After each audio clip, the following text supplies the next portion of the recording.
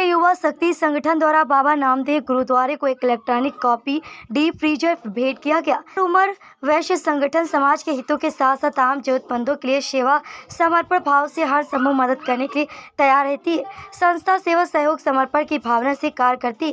कार्यक्रम की अध्यक्षता संस्था के संरक्षक सदस्य शुभम गुप्ता द्वारा की गई। संस्था के सदस्य नितिन कुमार गुप्ता द्वारा संस्था का प्रतीक चिन्ह एवं माला पहनाकर गुरुद्वारा नामदेव के सरदार नीतू सिंह को सम्मानित किया गया। एवं गुरुद्वारा नामदेव कमेटी को इलेक्ट्रॉनिक कॉफिन गुरुद्वारे के लिए भेंट किया गया, जिससे कि लोगों को सेवा के लिए दिया जाए। ऐसे सेवा भाव के लिए सरदार नीतू सिंह ने उमर उमर, फैश युवा शक्ति संगठन के सभी सदस्यों को धन्यवाद दिया। कार्यक्रम में हिमांशु उमर, शिवम उमर, प्रशांत उमर, वैभव गुप्ता, अर्चित गुप्ता, अमित गुप्ता, शशांक अंशुल प्रतीक एवं गुरुद्वारा नामदेव कमेटी के सभी पदाधिकारी सेवादार उपस्थित रहे। आज हमारे समाज के श्री उमर उमर वैश्य युवा शक्ति संगठन का एक डी फ्रीजर जो संस्था के तरफ़ से इस गुरुद्वारे पे रखवाया गया है जिस पे जो हम लोग सेवा भाव हम लोग का है, जो हम लोग सेवा करना चाहते हैं वो लोगों को ज़रूरत के समय पे इस चीज़ की ज़रूरत पूरी हो जाए। कौन से गुरुद्वारे में आपने ये रखवाया हुआ है ये बारा देवी में श्री नामदेव गुरुद्वारा है वहाँ पर हम लोगों ने इसको रखवाया है। क्या इसके लिए जो व्यवस्थाएँ हैं वो निःशुल्क रहेंगी या कोई शुल्क भी लगेगा? इसका एक नॉमिनल चार्ज लिया जाएगा जिससे लोगों को ले जाने में और देने में समस्या ना हो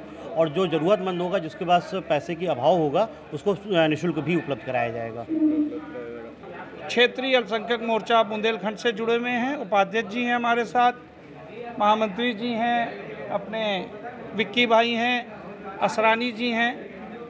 और आज गुरुद्वारे के इस प्रांगण में ओमर उमर युवा संगठन द्वारा एक कॉफिन बॉक्स गुरुद्वारे में सेवा समर्पण के साथ दिया गया है, और हमारे साथ उन्होंने ये कहा कि इस गुरुद्वारे से हमको ये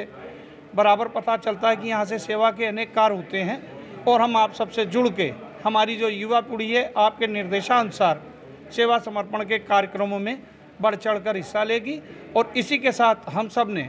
एक निर्णय और आज ले लिया है कि इस कफिन बॉक्स के साथ हम एक शव वाहन की भी व्यवस्था कर रहे हैं। हमारी बहन आचल जैन जी ने भी सबसे पहले इक्यावन सौ रुपये सहयोग देने की